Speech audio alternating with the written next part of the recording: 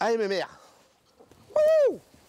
Depuis plus d'un an, l'activité d'Alexandre Thévenin s'est considérablement réduite. Bah, le quotidien, c'est d'abord la bonne santé de mes oiseaux. C'est-à-dire que mes oiseaux, ils ont besoin de, de voler en premier, de manger, d'être soignés. Si les soins et les vols réguliers de ces hiboux sont toujours au programme, Allez les représentations de ce fauconnier itinérant sont devenues rares. Moi, les lieux qui me permettent de vivre, ce sont les, voilà, les établissements scolaires, les EHPAD, les centres culturels, les théâtres. S'ils sont fermés, effectivement, je ne travaille pas. Dans le ciel de Chauvigny, les vols des rapaces ont presque disparu.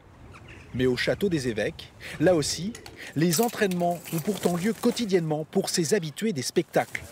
Hop, Gaston Privée de représentation en ce début de printemps, depuis le début de la crise, la société a pu compter sur des aides et le chômage technique. Insuffisant toutefois pour compenser les pertes. Restent les tournages pour le cinéma, comme il y a peu en Bretagne. Et des craintes pour la suite de la saison. On travaille essentiellement avec les étrangers et les groupes scolaires.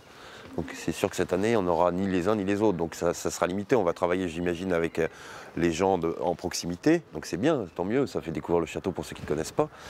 Mais euh, ça va être surtout les week-ends. Donc juin, ça va être, euh, à mon avis, compliqué, c'est sûr. Avec sa centaine d'oiseaux à demeure et ses six salariés, les Géants du Ciel restent un des pôles touristiques majeurs du département de la Vienne. Chaque année, 30 000 visiteurs s'y rendent habituellement.